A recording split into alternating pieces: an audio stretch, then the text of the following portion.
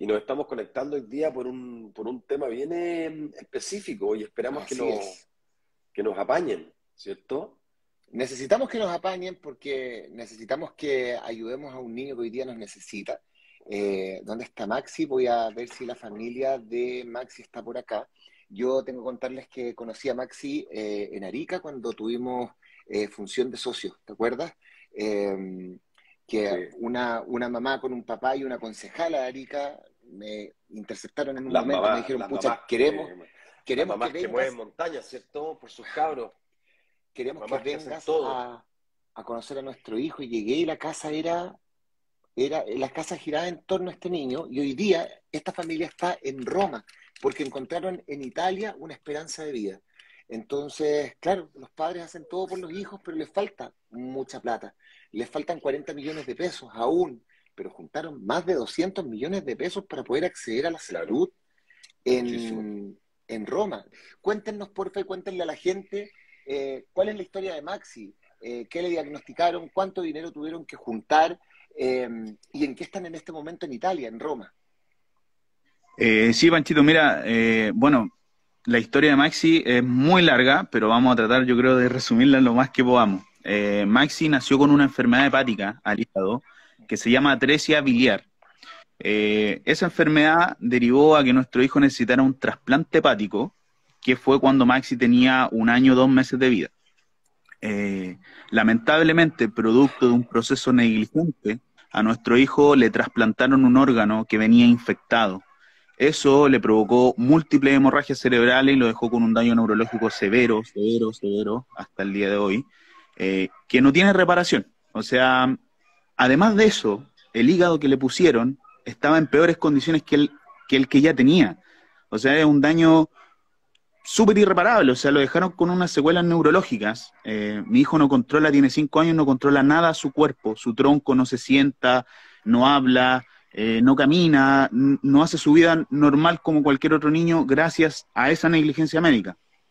Pero eso no es lo peor, lo peor es que lo dejaron con un hígado está peor, en peores condiciones. Para nosotros fue un, un golpe súper fuerte porque Maxi es nuestro primer hijo y, literalmente nos destrozaron la vida como familia. O sea, fue un nuevo nacer. Mi hijo al año dos meses era un niño normal con una enfermedad hepática, eh, pero él hablaba, caminaba, estaba balbuceando, diciendo sus primeras palabras. Eh, y hoy en día todo eso no lo hace. Todo eso no lo hace gracias a esta negligencia médica que ocurrió. Eh, estamos en un proceso judicial, muchas veces las personas oye, pero ¿por qué demandaron y todo? Sí, está demandado del 2019, el hospital donde se hizo este trasplante, pero sabemos cómo, cómo es la justicia en Chile, cómo es la justicia, cómo está la salud, cómo son las cosas, cómo es la realidad.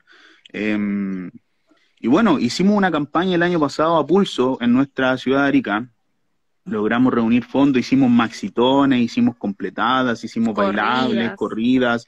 Eh, ¿Cuánto juntamos de todo? absolutamente todo. Logramos recaudar 89 millones de pesos aproximadamente, que, se, se traducen en máquinas. O sea, gran parte de lo que nosotros, de los 120 millones que nosotros necesitábamos juntar, eh, eran traducidos a las máquinas de Maxi, las máquinas que hoy lo tienen con vida acá en Italia. Un ventilador mecánico, una bomba de infusión de alimentos, porque Maxi tiene una gastrostomía, se alimenta por una bomba de infusión. Imagínate, Panchito, son cosas tan eh, básicas que al año, dos meses mi hijo comía por boca, o sea, ahora se alimenta por un botón en la guatita, ¿cachai? Y eso es de por vida, es de por vida. Entonces, el daño que hicieron es súper irreparable, pero más allá de eso, no se pronunciaron para dar una, una opción de vida máximo. Máximo hoy en día tiene una esteatosis y una fibrosis grado terminal prácticamente, y eh, eso significa que tiene una cirrosis hepática, entonces requiere un nuevo trasplante. Nosotros buscamos las mil maneras de poder eh, llevarlo a muchos lugares y la única opción que encontramos fue acá en Italia, en el Hospital Bambino Jesús, que es el hospital que, nos albergó, que nos recibió y el que está buscando todos los medios para poder salvarle la vida literalmente a nuestro hijo. Así que, y, siempre, siempre lo hemos dicho. ¿Qué tipo de tratamiento fue el que ellos ofrecieron? ¿Qué es lo que piensan hacer con Maxi para salvarle la vida? trasplantarlo nuevamente. Trasplantarlo nuevamente eh, es una cirugía riesgosa, ¿sí? pero en Chile no tenía una opción de hacer eso. Entonces era la opción que nosotros teníamos. Sabemos que es un riesgo, eh, en ese pabellón tiene que ir un donante vivo, yo me hice ya los exámenes, soy muy compatible con él, entonces em, puedo donarle cierta parte de mi hígado y estamos apostando a eso, apostando a que los médicos ahora eh, lo estabilicen un poco más. Eh, gracias a Dios pudo llegar bien del vuelo. Nosotros viajamos en un vuelo comercial, no, viajamos en un avión ambulancia. Y, y fue súper caótico, fue caótico porque tuvimos que pagarle una enfermera, tuvimos que pagarle una TENS, que de hecho son las que nos acompañan hoy en día cuidando a Maxi acá, em, para que pudieran asistirlo en el, en el vuelo. Así que em, ahora estamos apostando todas eh, nuestras energías a que esto pueda funcionar, a que ese trasplante se pueda llevar a cabo, a que los médicos de acá que tienen eh, mucha experiencia con este tipo de, enfermedades y otras puedan eh, ayudarnos a sacar adelante a Maxi. Es la, es la opción que tenemos. Y siempre lo hemos dicho, si, si aquí nos va mal y tenemos que irnos a China, Tailandia, Bangkok, a cualquier lado, lo vamos a hacer porque nosotros queremos que nuestro hijo viva.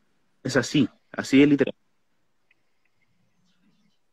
Qué brutal la historia que estáis contando. Yo, la verdad, a mí me emociona mucho el tema de los niños. Tal vez ahora, y a Pancho también, como es papá, yo creo que también te pega muy fuerte. Francisco. Muy fuerte. Yo, la gente, mira, hay gente que ya está donando, gente que ya está escribiendo, que ya donó.